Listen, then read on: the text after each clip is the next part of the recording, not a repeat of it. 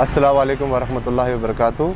मेरा नाम सैयद अब्दुलसलाम है और अ, मेरे अ, मेरे बच्चे यहाँ वीआईपी इंटरनेशनल स्कूल टोली चौकी में पढ़ते हैं। अ, मैं कंप्लेंट ये कंप्लेन है जो मैं रेस किया हूँ और police station and education minister को भी दिया हूँ। ये लोग पूरा management from the month of October fees पूरी 100 परसेंट कर दिए। जो कि गाइडलाइंस कितने के पढ़ते मेरे दो हैं यहाँ पे। फिफ्थ और सेकंड प्लस मेरे भाई के भी बच्चे हैं यहाँ पे। और वो लोग अक्टूबर से 100 परसेंट फ़ीस कर दी स्कूल की जो कि गाइडलाइंस के ख़िलाफ़ है। उसका कंप्लेन तो मैं दे दिया हूँ।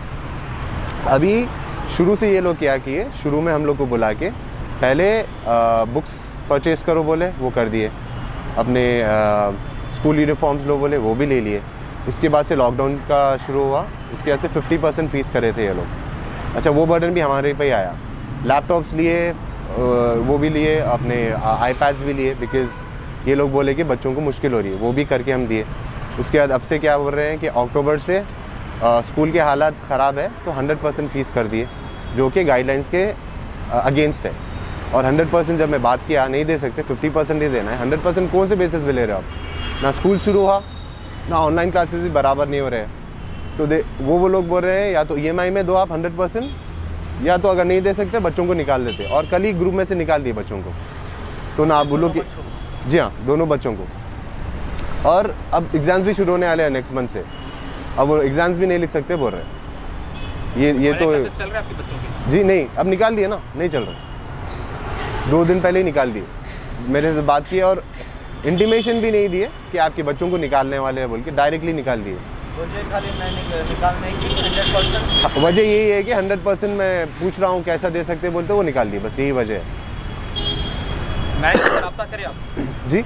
मैनेजमेंट से रब्ता करें।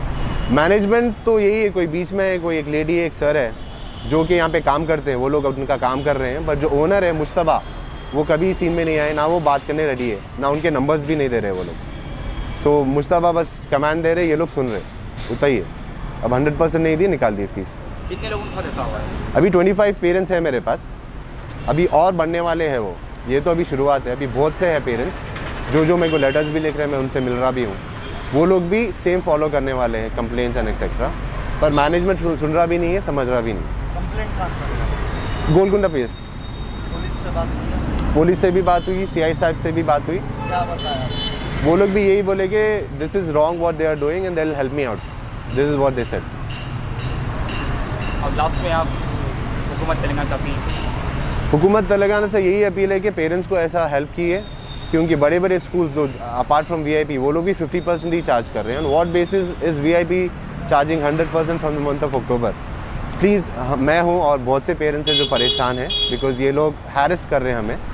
एवरी डे कॉल कर रहे थे अब तो बच्चों को ही निकाल दिए ना वो एग्ज़ाम लिख सकते हैं ना वो ऑनलाइन क्लास अटेंड कर सकते हैं तो it's from the bottom of my heart I appeal the Telangana government to please help out me and and please talk to the VIP International School Management team.